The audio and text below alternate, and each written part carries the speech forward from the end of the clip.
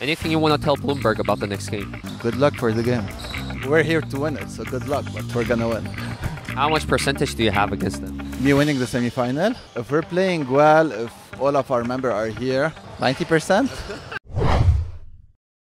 Today was the first playoff game in Corporate League. How was it? It was very intense. The other team came here to play. They're a very good team. Last time they beat us by four, so we came. We know we had to do even more to beat them, and we were able to get the win, thankfully. So Stanford America, they're one of the teams in D2 that has the most decent big. Like, what was your strategy against them? Well, last game they played. Quite, my team played quite small against them. I couldn't play today. My job was just helping them on defense because I knew the guards and the forwards could carry us to winning on offense. So for me, it was playing my game, focusing on getting defense. And Ayesh, I think his name is, last time killed us with 20 points. So today the strategy was me helping with the primary defender on him. And hopefully we're able to do that quite good.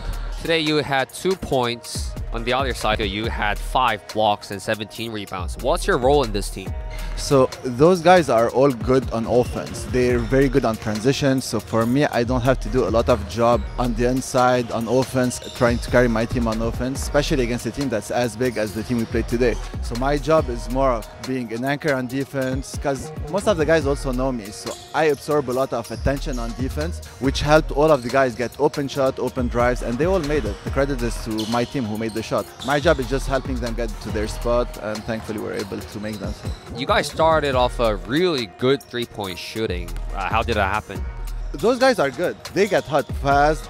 They had open shots. Not one shot was contested. Like not one shot, you'll be like, oh, why did you take this shot? Every shot was open. As long as they taking the shot, and they have some confidence that if it's close to the rim, I might get the board as well, which helps them pull the trigger even faster, which was really good for me because they didn't have to do that much on offense. They they carried the load there. So as your three points went in, they started guarding more of the shots. On the second half, I could tell that you guys were playing more high-low. So was that your tactic, kind of? Well, it was all about me making reads on what the defense gives us. If they're gonna open up, especially against the zone, then you go high-low. We have another big Shane that's good at playing the high post. We have good people who can drive to the basket. So just taking what the defense gives us.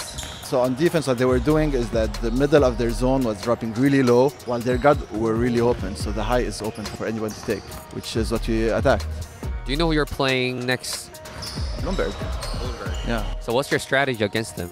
Our strategy in this team has always been the same. Play great defense, attack them on transition. We have very good runners. We have good rebounding, so not allow second point.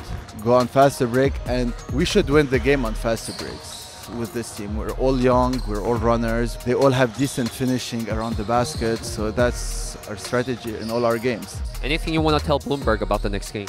Good luck for the game. That's everything. We're here to win it, so good luck, but we're gonna win. How much percentage do you have against them? Me winning the semifinal. If we're playing well, if all of our members are here, 90%. okay, great. Thank you.